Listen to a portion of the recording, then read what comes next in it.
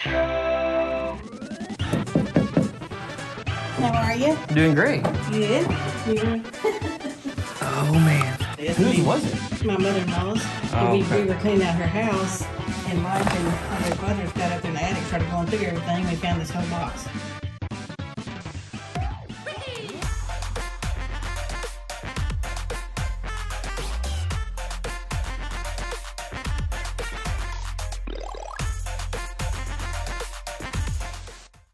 What is up, Internet? Retro here, and welcome back to another episode of Retro Hunting.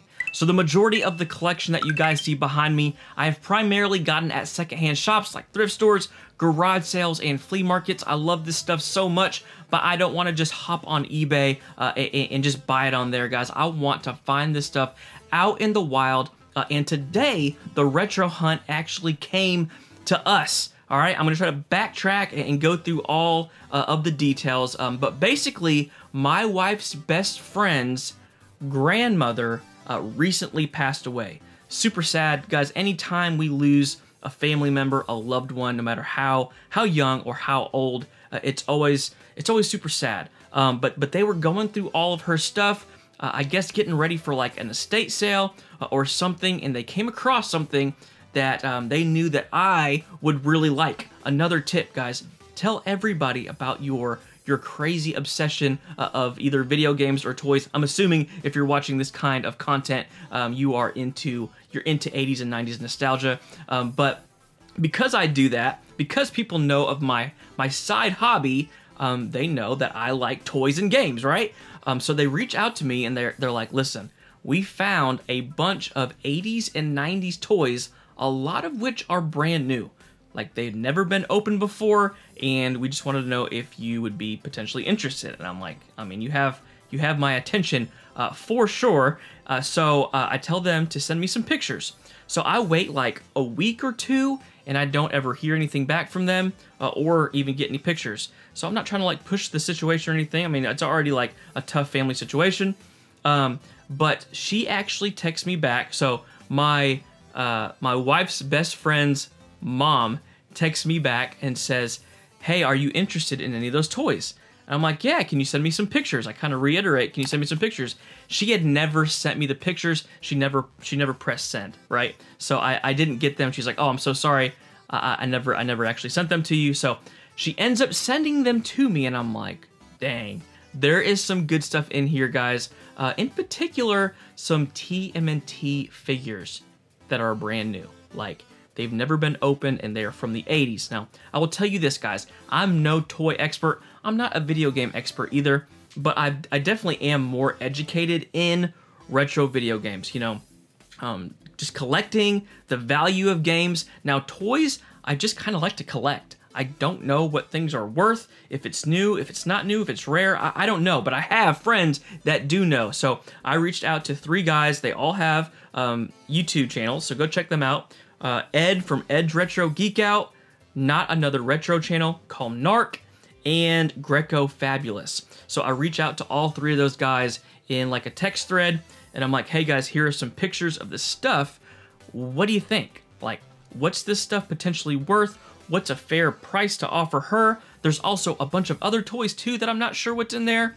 A- a- And, and they're going through it and they're like, you know, there's a couple things you need to look out for. Uh, I'm not going to get into that now. I want to get into that later whenever we actually have um, the toys with us. But they gave me some some really good advice and I ended up offering her $240 for everything, which may seem like a lot of money, but uh, I think uh, I think it was a super fair offer for her. She was happy to just get rid of it and not have to deal with it, uh, and um, I get to add it to the collection. So, guys, some really sweet stuff. We're about to get into the footage of me actually picking it up, and then we're gonna go through everything together for the first time. Uh, but before we do that, guys, if you do love all things 80s in 90s nostalgia, retro video games, movies, toys, and more, do me a favor and hit that freaking subscribe button. Every single Monday and Thursday, we're coming out with new nostalgic type videos, and I don't want you guys to miss it. Let's get into this pickup.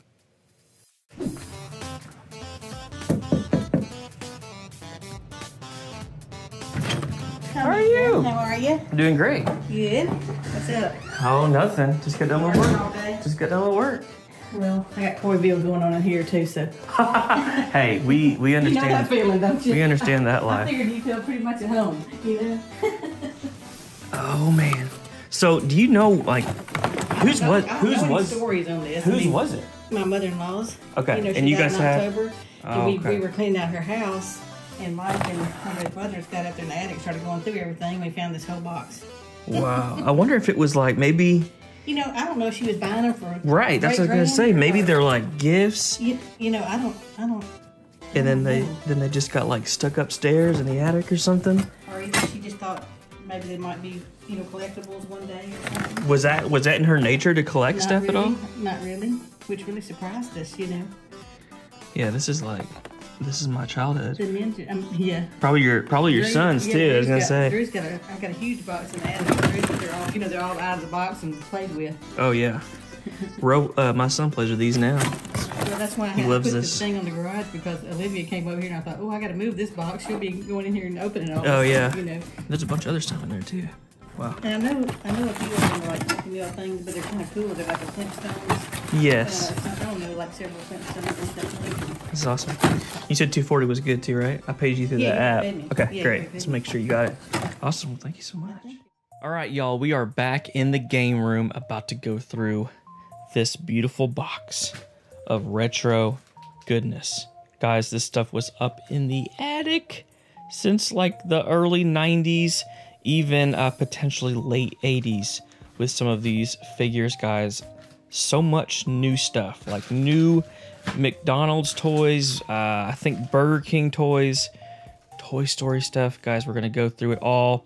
Uh, just a heads up, it's super late right now. It's like 10:30, 10:45 and my daughter is in the next room sleeping right now and she has been waking up all the time during the middle of the night. So, if I have to pause, it's because she is screaming and she needs something. So, just a heads up. All right. Let's get into this. So, first up, we have a Bobby's World toy. Do you guys remember Bobby's World?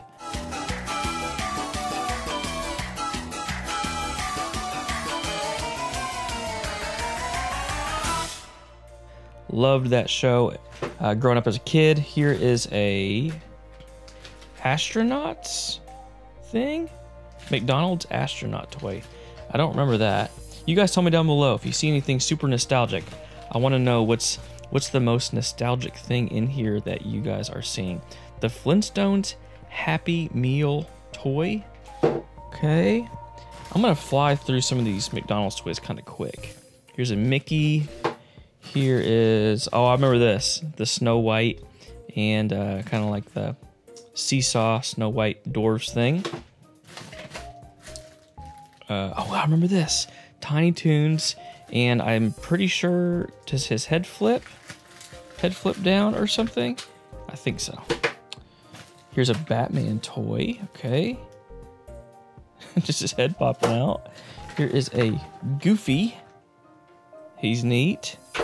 Here is a Tonka truck. I don't know if there's year nah, not 94. So basically, so far, all this stuff has been more like 94 or so. Um, here is ooh Nickelodeon blimp. Collect all four game gadgets. Welcome to Name That Happy Meal. Thank you. Name the Happy Meal that comes with this clapper or this microphone. It's McDonald's Nickelodeon Happy Meal. Each one you buy comes with one of four fine prizes. Thanks, you've been great contestants. That's cool. I don't know if I remember that either. I do have an old Nickelodeon blimp somewhere. Here is, I think this was to one of the figures. Get that out of here. All right, here is a Toy Story Rex figure by Thinkway. Uh, I'm pretty sure Thinkway was the first brand to make Toy Story figures. The reason why I know that is because I really like pull-string dolls, which is a strange thing to say, um, but I do. I have an Ernest, I have a Pee Wee, and I also have an Urkel doll. And I wanted to add to the collection and get uh, the Toy Story Woody doll, like the original from 95, 96. And Thinkway makes them, and they are crazy expensive. uh, holler at your boy if you have one and you want to uh, potentially sell it. I would love to um, maybe buy it off you. So that's cool. I don't see a date. I don't see a date anywhere. All right, here is another plastic thing. Cabbage Patch. I know you guys want to see that. We're gonna talk about that, but not, I don't want to yet. I want to go through some of this stuff. Jurassic Park figure. Um, I never really got big into collecting Jurassic Park toys. If you want info on Jurassic Park toys, one of my favorite channels um, on toys is a channel called Laura Legends. So next up, we have a whole bunch of comics. We actually have the entire set of the Jurassic Park Topps comics for the first film. She has a great channel and she is super knowledgeable on Jurassic Park stuff. Go check it out, y'all. Here is another Bobby's World toy. We are probably going to run out of space really quick over here. Okay. Here is a little Sonic. I actually think I have that somewhere. Here is ooh, Back to the Future. Doc DeLorean, my favorite movie of all time, and I can't even see it. Looks like there's some clear plastic action going on there. That's cool. Kind of want to open that up. What is this? Oh, I remember this too. Sound effect machine, yes, and it had like different things you could like crank and spin, and yes, another Jurassic Park figure. Neat. I think, yeah, there's some accessories in there. Whoa, that's cool. Um, another accessory. Here is a Flintstones toy Bolin Bedrock. Let's see. Here is a attack pack. I don't know this. 94. Uh, here, let's just look at this real quick. Here is a Buzz.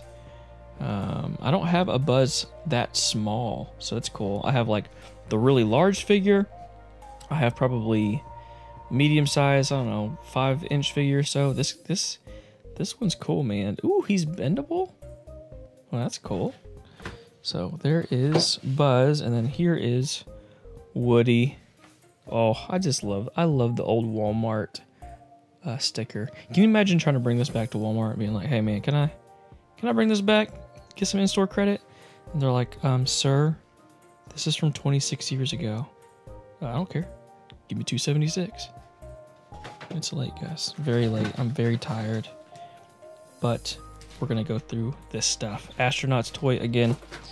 Nobody cares. Here's another one of the Flintstones toys. Um, here is another accessory and a dwarf here. Oh, y'all, y'all. Theory confirmed. I really thought she doesn't collect. I mean, she didn't collect stuff. Um, she didn't collect toys. Yet she had all these brand new toys. I said as gifts. This is old looking gift bags. Here's the Little Mermaid and a Mickey one, I think. I think theory confirmed. Man, I mean, I don't know why else she would have had all this stuff, but had to be. Snow White.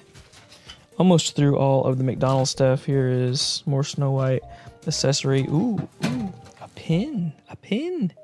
Disney Polynesian Resort. I collected pins back in the day. So I got them from my movie store and they would have like the promo pin of like I don't know, Little Giants or Mighty Ducks or something. And I would always ask for them. And the owner was so sweet. She was like, "Oh, she uh, she would save them for me." And she'd give me give me pins. Are pins still cool? These used to be huge, and now kids just want to play with their dumb iPhones. Let's see, Snow White, more Snow White. Here is a what we got here. What is this? Stone Warriors? Gargoyles. Okay. Stone Warriors Gargoyles. Nice. Um, here is another Snow White figure. Here's a cassette. Oh. Nah. Fail.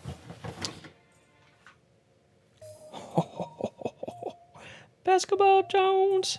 Basketball Jones was my jam. I I love this album, y'all. I actually had. Do you remember back in the day when you could get a CD or a cassette that would have literally one song, maybe two on it? I had the Space Jam one.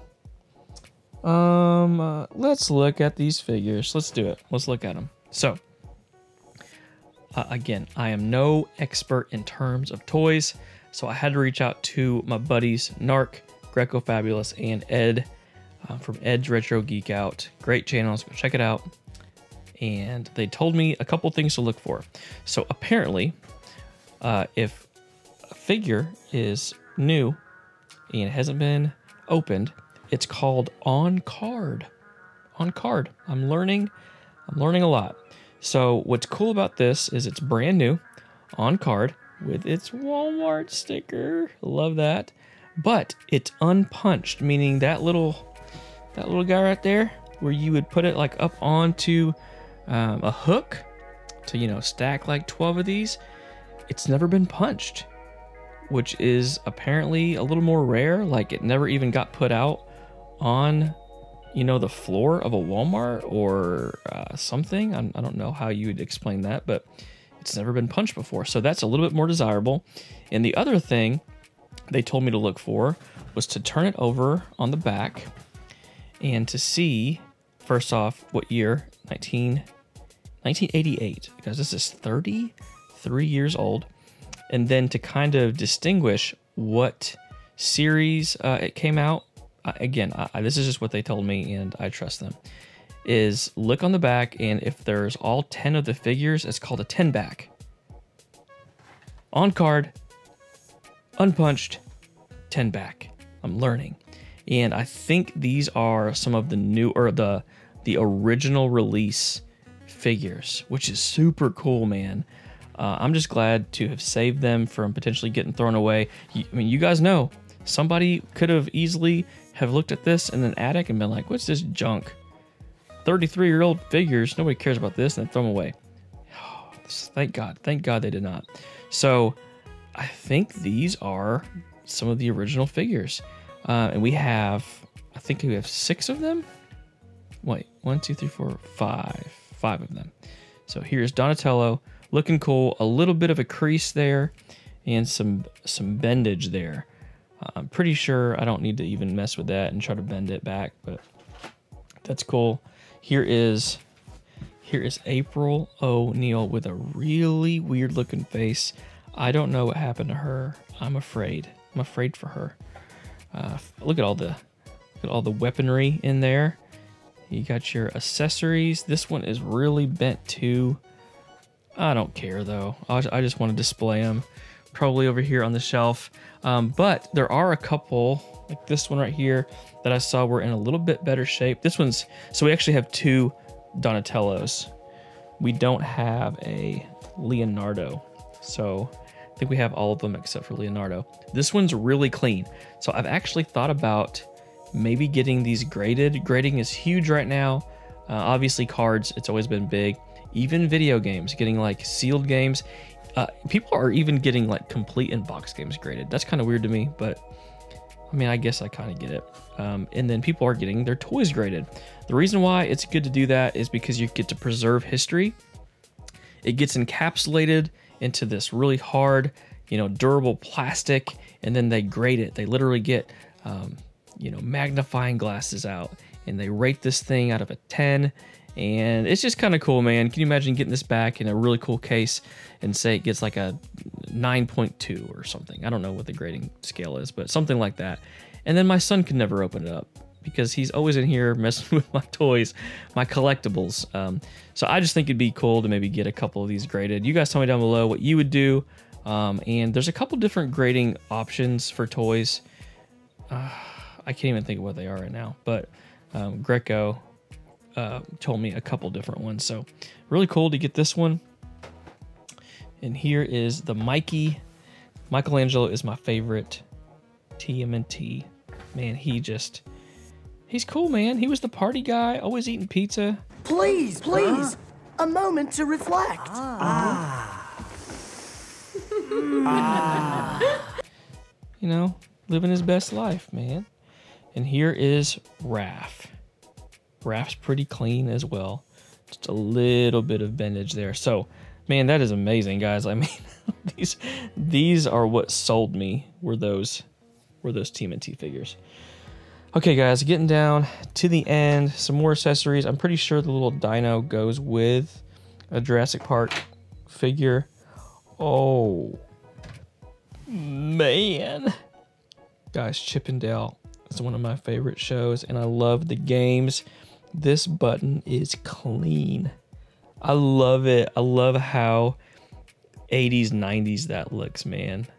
I'm the guy that would like literally put this on my jean jacket and just walk around being like, what up, y'all? Got my Chip 'n Dale button. I don't think buttons are popular anymore. They should be. Buttons are cool. Here's another one. Roger Rabbit. Here is another one. A lot of these Flintstone little cars. Like, here's another one. Brand new, never opened. Uh, Jurassic Park figure. Whoa, he is a serious guy. Look at that accessory. Our, our table is completely full at this point. Here are two more McDonald's toys. I'm getting kind of over the McDonald's toys. Cabbage Patch and a Cabbage Patch. Uh, another toy. More accessories down here. And then another Jurassic Park. My gosh, there's a bunch in here. You guys tell me down below if those are valuable in any way especially with the accessories, because it looks like they have at least most of their accessories. Animaniacs. Here are some mugs. Let's look at these mugs. Ooh.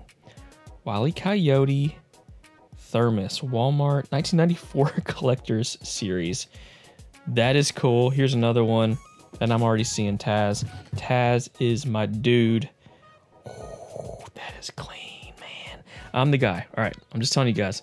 I'm the guy that would take this to work, fill it up with coffee, my beverage of choice in the morning, walk into a, a meeting and just sit down and just just act like a boss. And people are like, "What are you, what are you doing, Rick? Grow up, grow up, man." Like I ain't growing up. Never gonna grow up. I like my Taz thermos. Leave me alone. Sticking with uh, beverage holders, here are some of these old Disney I'm pretty sure this is McDonald's, right? No, Burger King. These were Burger King. All their favorites just 89 cents each with any Whopper value meal. Daddy, are you Mommy's Prince Charming? Burger King, get your burgers worth. Collect all eight glasses. Do you guys remember this? Uh, I think we have we have four. We have four of the eight. So we got Pinocchio.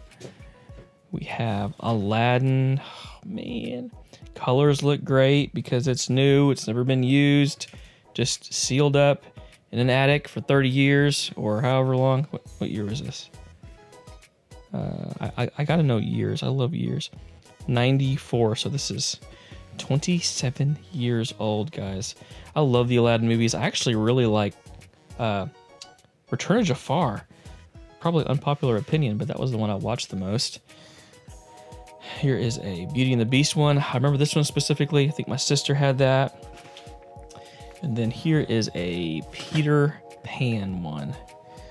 Completely out of space on the table. You guys see my my sweet socks and sandals? I'm dad life in it right now. All about that dad life. Oh, okay, okay. This is an old McDonald's Happy Meal box. Um, the ones I, you know, really, really know and love are the Mario ones. Uh, Mario 3, they look really cool. I'd love to get them and put, put them up on the shelf and display them proudly, but I don't honestly don't care about the Snow White one. And don't have any place to put it. Here is a Flintstones tin. I was always a, I'm always been a fan of like containers. I like to, you know, use this as a chain holder. Chain holder? Change holder or something. Seems to be empty. Class of 89 button. That's pretty dope. Here is another Animaniac toy. More accessories. Uh, a leaf. A penny. Y'all. So we did not spend 240. We spent 200 $39.99. Dad jokes and dad sandals. I'm a boss, right? Little Mermaid pin. Uh, here are two more Jurassic Park guys. And then a tin that has. Oh, whoa, McDonald's. McDonald's uh, bags. Like you get like your fries in. Oh, gonna have to do this. Oh yeah, guys. I have these over here with my uh with my Batman glasses. There's one of the Flintstones glasses. I have quite a few of them at this point. But that's cool. I'm assuming these are all probably the bat or the Flintstones ones. I'll just open one more. Yep. Looks like they're the Flintstones ones. So I won't bother with the other two unless I get done filming this and open them and there's something different. But whoa, whoa, whoa, whoa, whoa, whoa. I love it. I love it. I'm so glad this stuff did not get thrown out and I get to keep it, display it proudly. I'm ha- I'm happy that she's happy. She's able to get rid of this stuff and not have to deal with it, not have to like list anything. And I'm happy to uh, add some more pieces to the collection. Honestly, there's a lot in here I don't really care about. The Toy Story figures are kind of cool, but I mean you can't really display that in any way. Um, don't know if there's any value. If there's value there, maybe I'll I'll sell them or something. And if there's not, I'll probably just give them to my son. I really don't care. It's really the turtles. The turtles are what are what put me over. Uh, I wanted I wanted those, and I know that there's probably 240 or, or more in value. Again, you guys tell me down below. Um, the Jurassic Park figures are cool.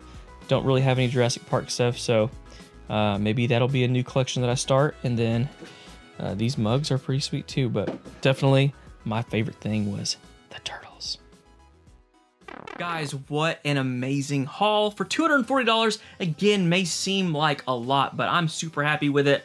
I'm still not sure what I'm going to do with the turtles. I may get a couple of them graded. I probably will at, at some point just to encapsulate them uh, and make sure they never get uh, messed up or opened by my son because he's always opening up my, my toys, my vintage collectibles, right? Um, but you guys tell me down below what was your favorite thing that I found or maybe the most nostalgic thing that was in this lot. Guys, as always, thank you for hanging out for watching the video. If you would like the video, it helps out so much. Subscribe if you have not already. And until next time, peace.